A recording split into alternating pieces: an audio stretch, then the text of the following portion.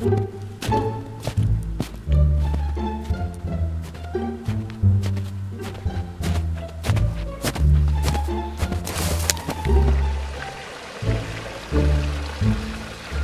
it's March 1st in the Hudson Valley, although you wouldn't know it from all the snow around here.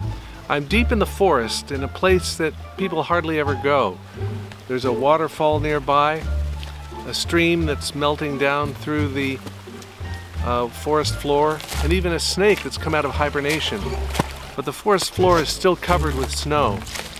And that'll give me a chance to paint some snow effects since it's above freezing and I can paint in gouache.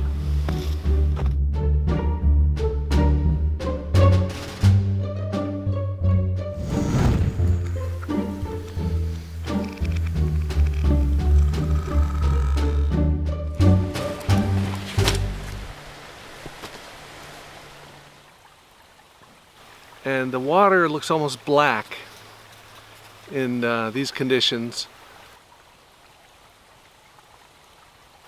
But you can still see a little reflection of the light sky in this black water. It's because the snow is so bright white.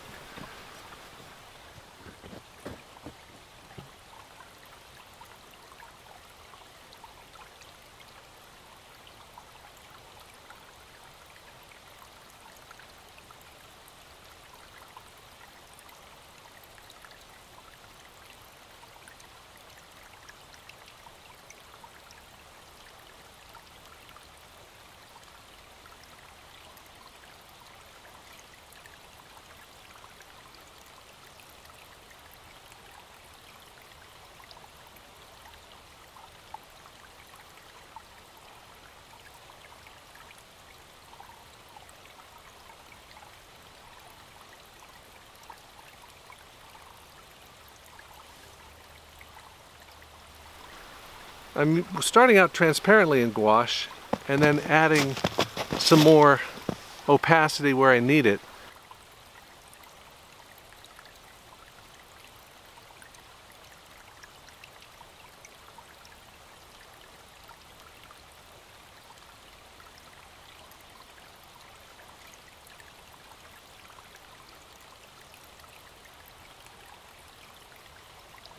But the good thing about gouache for something like this is that I can paint light over dark, dark over light, and overlap areas.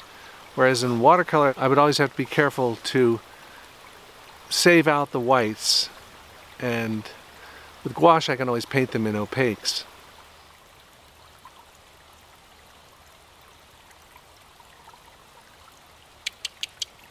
Come on, Smooth.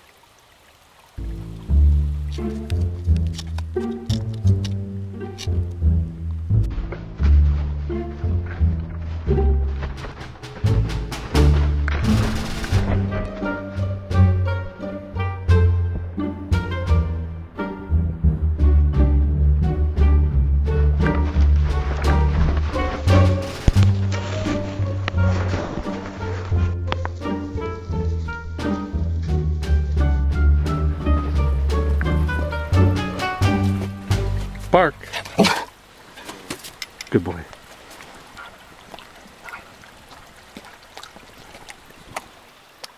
Uh, the sun is starting to set now.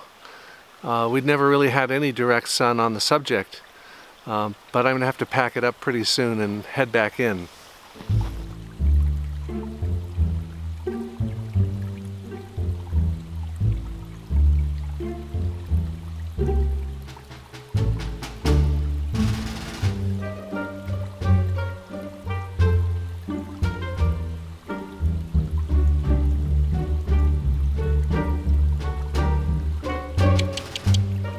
조금만 줘.